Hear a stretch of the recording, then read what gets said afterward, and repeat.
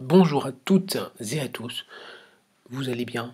Vous allez parfaitement bien avec votre tasse de thé sur votre canapé. Vous êtes bien reposé. On est bien installé. C'est parti pour un nouvel épisode du Catastrophe, épisode numéro 4.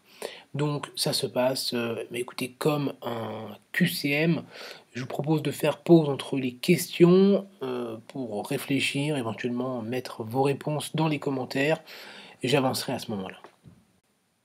Donc je vous propose le cas d'un homme de 31 ans qui vient aux urgences pour de la toux et il est fatigué, asthénie. Il vous avoue euh, vous avoue qu'il vit bien.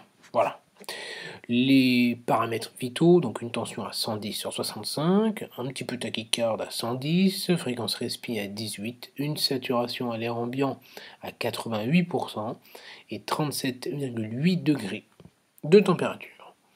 Donc cliniquement, vous remarquez quelques adénopathies un peu diffuses, une toux qui est sèche, un muguet buccal et à l'auscultation, euh, pas grand chose. Donc la première question, vous euh, émettez des euh, diagnostics, quels sont-ils? Je vous propose le Covid, ou la Covid pour ceux qui préfèrent, la tuberculose, pneumocystose, aspergillose ou une pneumopathie aiguë communautaire. Je vous laisse faire pause, réfléchir, marquer dans les commentaires éventuellement, j'avance. Les bonnes réponses que je proposais, eh ben, c'était euh, un petit peu tout, puisqu'au final, on ne peut rien exclure véritablement. Sachant que je ne vous ai pas dit que nous étions euh, après 2020, évidemment, pour le Covid, mais euh, en étant un jour, ben, on pouvait tout envisager. Hein. Le Covid, c'est possible, une toux asthénie, une tuberculose est envisageable, une pneumocystose aussi, une aspergillose, et puis une pneumopathie aiguë communautaire, tout à fait. Étant donné vos hypothèses diagnostiques, quelles mesures de protection mettez-vous en place si vous mettez des mesures de protection? Je vous propose les réponses euh, suivantes. Donc la A, un FFP2 pour le malade. La B, un FFP1 pour le malade. Réponse C, un masque FFP2 pour le personnel. Euh, réponse D, un FFP2 pour le personnel. Et réponse E, euh, précaution contact. Donc je vous laisse faire pause, je vais vous donner les réponses. Donc les réponses que je propose sont le masque FFP1 pour le malade, euh, puisqu'en fait il n'y aurait pas d'intérêt à, donner le FFP2 puisque c'est pour se protéger soi. Euh, et le FFP1 euh, donc pour le malade et le FFP2 pour le personnel qui doit se protéger euh, principalement donc pour alors le Covid s'il y a des gestes oui mais bon pour la tuberculose c'est pas exclu. Donc il faut, faut, quand même envisager cette hypothèse qui justifie le port du FFP2 maintenant précaution contact pas nécessairement il n'y a rien de véritablement établi. On va revoir ça donc pour les mesures de précaution, précaution R, qu'est-ce qu'il faut? Eh bien, Il faut penser à trois diagnostics à ce moment-là. C'est pour la varicelle, précaution R, pour la rougeole et pour la tuberculose. Sachant que pour le personnel vacciné, euh, pour la rougeole, euh, ça peut se discuter. Ensuite, les précautions gouttelettes, euh, donc ça veut dire FFP1, la réflexion, je vous propose de la tourner autour du tableau. Donc, si c'est un tableau plutôt neurologique, pensez au méningocoque qui justifie le FFP1. Fréquemment, on l'oublie. En cas d'épidémie, ce sera grippe, coronavirus, on met le FFP1, voire FFP2 pour le coronavirus. Mais bon, ça, euh, c'est en, suivant le, type de soins. Pour les adultes jeunes, en cas d'infection par mycoplasme, euh, c'est port du FFP1. Et pour l'enfant ou jeune adulte, on peut être amené à rencontrer la rubéole, les oreillons, le parvovirus B19, le VRS et la coqueluche qui justifie le port du FFP1. Enfin, les précautions contact, on oublie assez fréquemment la varicelle, l'entérovirus et le VRS qui justifient les précautions contact. Euh, on oublie rarement pour les BMR, le SARM et l'abri. Euh, Clostridium, c'est pareil. Je vous rappelle, hein, jusqu'à certains termes de traitement, on met les mesures de précaution contact. Après, on peut les lever et la gale et pédiculose, on y pense en général. Donc là, votre interne vous montre la radiographie suivante. Qu'est-ce que vous en pensez Faites pause. J'avance. Donc, pneumothorax, une nécrose, un épanchement pleural, un lâcher de ballon euh, ou un syndrome de Pankos-Tobias. Je vous propose de faire pause. Je vous donne les réponses. Euh, je propose la B uniquement, donc la nécrose. Euh, qu'est-ce que donc le pneumothorax, on voit bien qu'il n'y a pas de, il n'y a pas de d'hyper clarté qui longe et qui suit le, trajet euh, du poumon. Donc c'était une mauvaise réponse. Une nécrose, oui, c'était la bonne. Ça ressemble à une cavité. Un épanchement pleural, non. Les cul-de-sac sont libres. Un lâcher de ballon ne ressemble pas du tout à ça parce qu'il y en a plusieurs. Et le syndrome de Pancostobias, on va le voir après avec un petit schéma.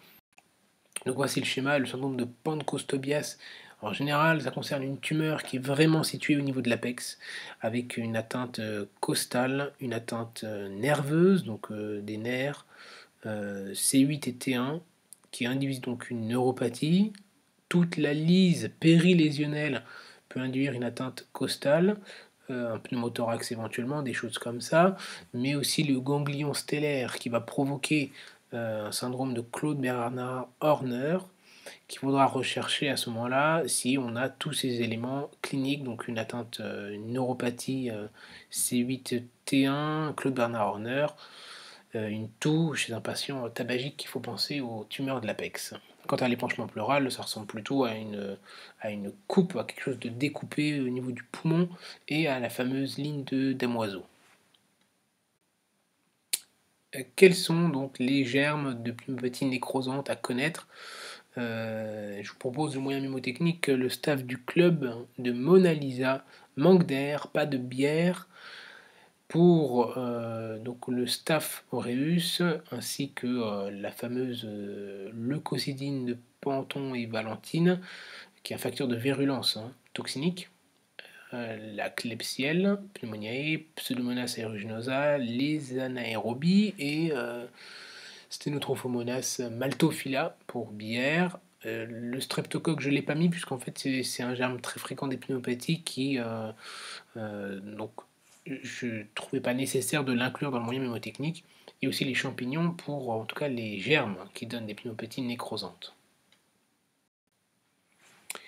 Maintenant, quels sont les différentiels de pneumopathie nécrosante? Euh, Quelles autres euh, étiologies il faut envisager? Euh, Je vous propose la A, pneumopathie interstitielle diffuse, B, embolie pulmonaire, C, lymphome, D, Wegener, et E, le cancer, n'importe quel, cancer. Je vous laisse faire pause et j'avance. Donc les réponses, c'était lymphome, Wegener et cancer. Donc euh, interstitielle diffuse ne donne pas d'aspect hein, de nécrose. L'embolie pulmonaire peut en donner, mais c'est extrêmement tiré par les cheveux et ça donne pas cet aspect de caverne, donc c'est pas retenu dans le différentiel. Par contre, euh, les lymphomes, le Wegener et le cancer peuvent tout à fait donner cet aspect de, de, euh, de nécrose en fait. En fait, euh, la radiographie que vous avez vue, c'était une erreur, une erreur de patient. Donc là, on retourne sur le bon patient initialement, donc ce fameux jeune là de 31 ans. Euh, vous voyez cet aspect scanographique. Je vous laisse faire pause pour l'avoir en tête. La question vient juste après.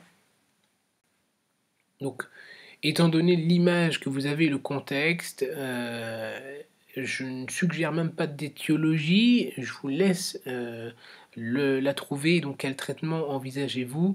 Donc, je vous propose réponse A, l'acide folique, B comme Bactrim, 20 mg de sulfaméthoxazole et trimétoprime 100 mg par kilo durant 3 semaines. Réponse C, corticoïde. Réponse D, quadrithérapie, euh, IREP.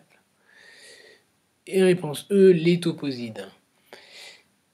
Je vous laisse faire pause, je vous donne la réponse juste après.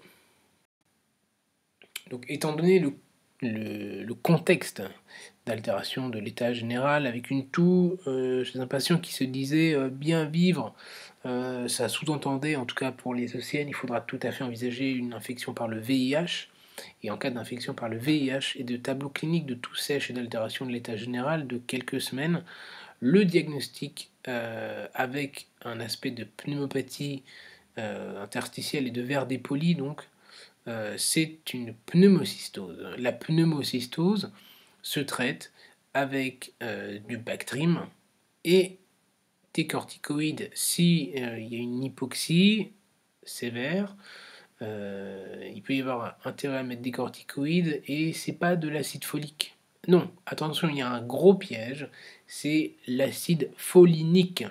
Il y a vraiment une différence entre l'acide folique et l'acide folinique. L'acide folinique se donne pour les médicaments qui altèrent euh, le, fonctionnement de la vitamine B9 en intracellulaire euh, lorsqu'il y a prise de médicaments, donc par exemple méthotrexate ou Bactrim. Euh, là, c'est acide folinique. L'acide folique, c'est pour les femmes enceintes. Je vous mets un, un lien de l'ANSM dans la description. Voilà, puis les corticoïdes, il y a un protocole particulier euh, à suivre avec des croissances assez rapides. Hein. Donc nous arrivons bah, au terme de la vidéo, j'espère qu'elle vous a plu. Si c'est le cas, n'hésitez pas à vous abonner, à cliquer sur la cloche des notifications pour ne pas rater les prochaines vidéos et les prochains cas. Lâchez un pouce bleu de cyanosé que vous aurez oxygéné et traité par les bons médicaments et il ne me reste plus donc qu'à vous souhaiter de prendre soin de vous et de vos patients, bien sûr.